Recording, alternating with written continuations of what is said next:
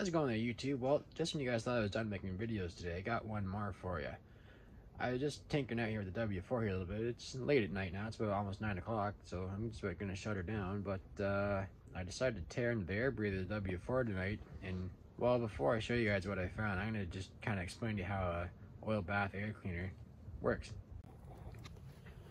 Okay, so hopefully you guys can see it here. I don't have very good light on the side of the tractor because it's dark in the shop. But anyway, your fresh air, of course, comes in here down this intake pipe. Comes down in here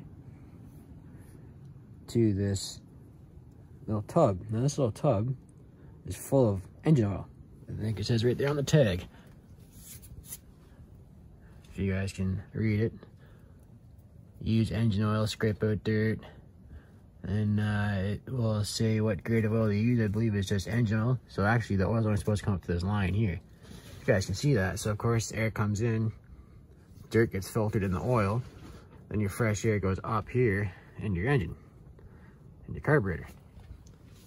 So now when that oil gets dirty, it starts to plug up because I wondered when I brought the W4 home, I wondered why if you have a good enough shot of choke, it could spit and sputter and almost choke itself out. The uh, W4 air cleaner works in pretty much the same way. Well, it's actually a Donaldson air breather, I do believe.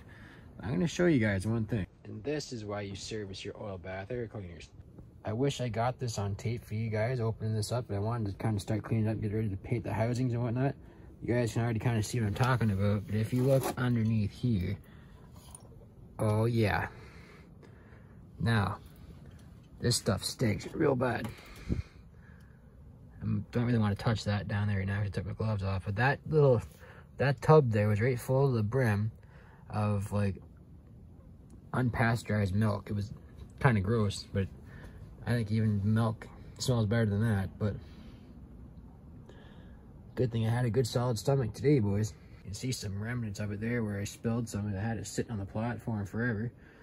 But yeah, that's no good. That's not going to filter nothing.